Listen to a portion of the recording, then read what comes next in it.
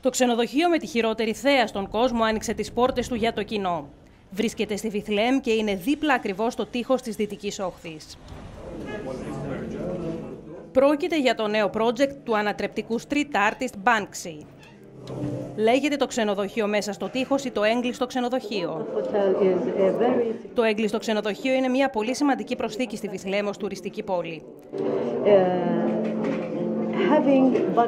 Το να έχουμε τα έργα του Μπάνξη στο ξενοδοχείο αποτελεί σημαντικό πολιτικό μήνυμα και κάνει το ξενοδοχείο να έχει καλλιτεχνική αξία.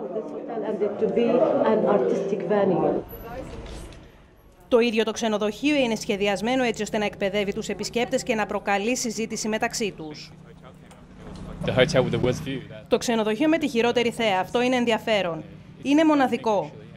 Σε συνδυασμό με την τέχνη του Μπάνξη και όλα τα άλλα, γι' αυτό έχω έρθει εδώ. Στον τοίχο ενός υπνοδωματίου, μια τυχογραφία απεικονίζει έναν Ισραηλινό και ένα Παλαιστίνιο να παίζουν μαξιλαρό πόλεμο. Σε έναν άλλο τοίχο, κάμερες κλειστού κυκλώματος παρακολούθησης έχουν αναρτηθεί σαν κυνηγετικά τρόπεα.